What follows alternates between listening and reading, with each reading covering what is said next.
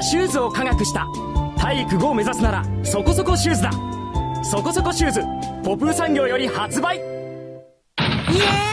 ーイ！マーケティングチームのみんな今日もアクセク働いてるかい！はあ、バブルさん。誰ですか？あの人。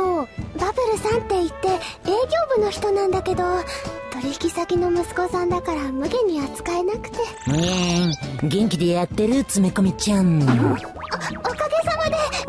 んも元気そうで。まあね。そうそうこの前新しい商品のアイディアで一発当てちゃってさ。俺の友達が。すごいですね。そうだろ。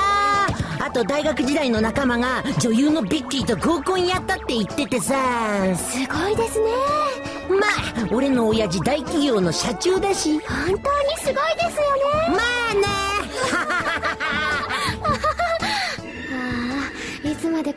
話に付き合わされるんだろう。そうなんだったら私だってすごいです。え？